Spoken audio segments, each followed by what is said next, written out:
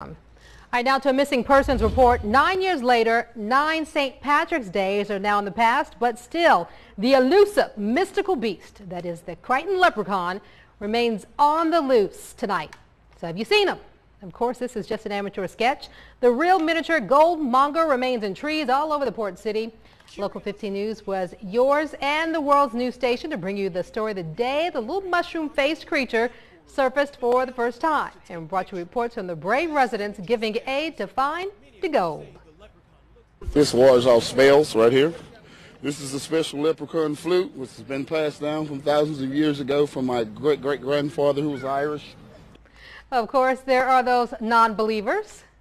My theory is it's casting a shadow from the other limb. Could be a crackhead that got hold to the wrong stuff and it told him to get up in a tree and play a leprechaun. Well, in 2006, Local 15 reporter Brian Johnson learned from eyewitnesses the leprechaun only comes out at night, and when you shine your light on it, well, the creature disappears. Of course, once the leprechaun is spotted, you always have to announce the victory with the correct chant. I gotta do look up in the tree. Who else seen the leprechaun say yeah? yeah! You can watch the full YouTube video of our Crichton Leprechaun story on our Local 15 Facebook page.